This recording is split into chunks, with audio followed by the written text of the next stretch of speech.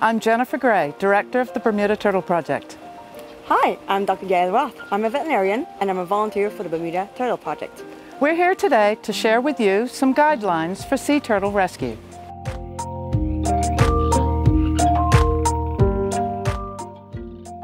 Sea turtles are cold-blooded, air-breathing aquatic reptiles designed for life in the ocean.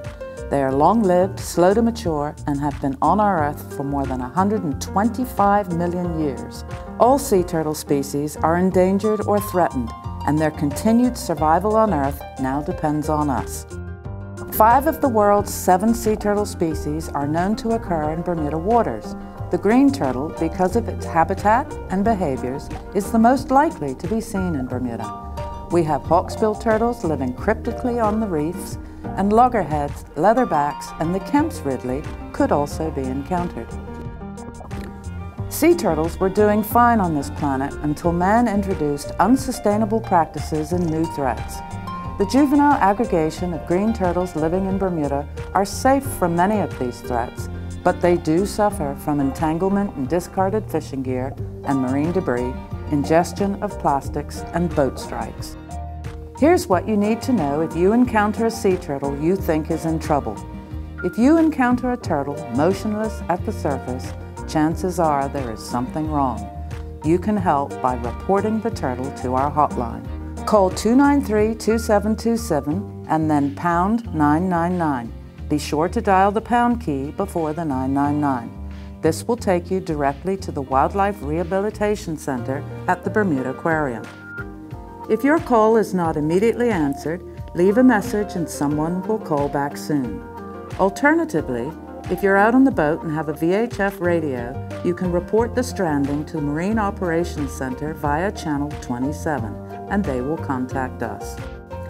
It is illegal to harass or handle a sea turtle in the wild, but when our rescue team are unavailable, we appreciate public support rescuing sea turtles. The sooner a sea turtle can be brought in for treatment, the better its chances for survival. If you see a turtle floating on the ocean, always approach it very slowly.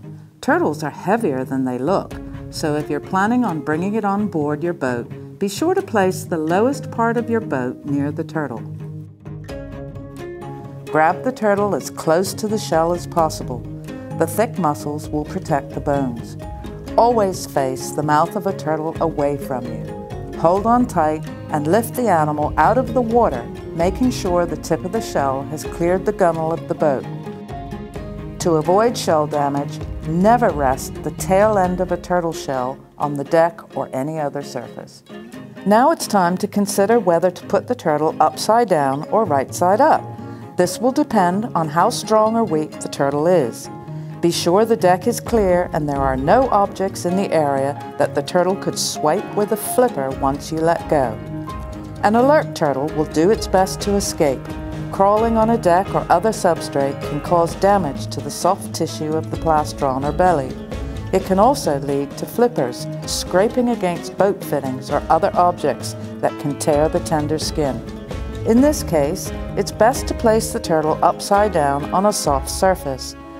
A turtle on its back is unable to turn over, and they know this, so they give up any fight, relax, and sometimes even go to sleep. A bent strapped swim noodle makes the best bed for a turtle and does not slide much on a deck. A life jacket can also work. Ensure the back or carapace of the turtle is resting on the bed and that the neck is not bent at a sharp angle which could cut off air supply. Do not put the turtle in water. Sloshing around in a cooler or a bucket of water can lead to drowning. They are air-breathing animals and can be out of water for many hours before dehydrating. They are also cold-blooded and at the mercy of ambient temperatures, so be sure the turtle does not overheat. Keep it in the shade and gently pour water over it periodically, avoiding the face.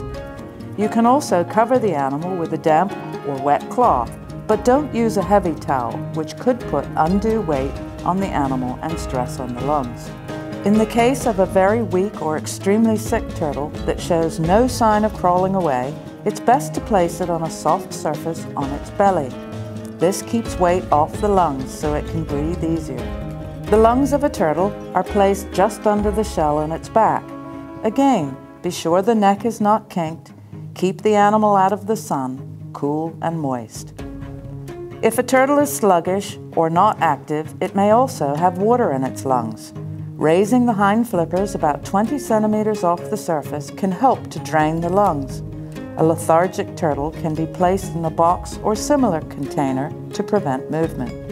In the case of severe trauma, such as a boat strike or severe injury, limit movement as much as possible.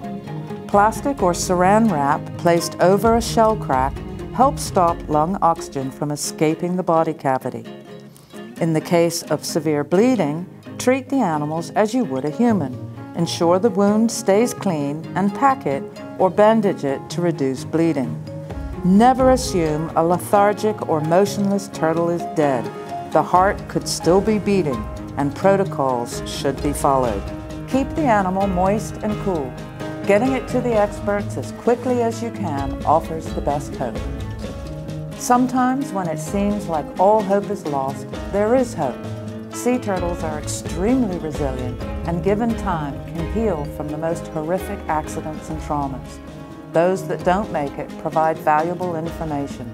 They help us to understand their biology better and improve our success rate in helping them. You too can help by following these guidelines, taking your time when on the water, and if you see one of our turtle alert signs, be sure to proceed slowly. There are useful items for sea turtle rescue you may already have or could add to your kit. The hotline number is most important. Something to rest the turtle in or on, a container for water, a lightweight towel to provide shade, cooling, and moisture, surgical gloves for handling, saran wrap for open shell wounds, a calm demeanor, and a caring touch. For more than half a century, the research of the Bermuda Turtle Project has focused on the understanding of green turtle biology so that successful protection can be promoted for these animals in Bermuda and throughout their range. Please join our investigation into sea turtle life by learning more about the activities and discoveries of the Bermuda Turtle Project and by supporting our research and education initiatives.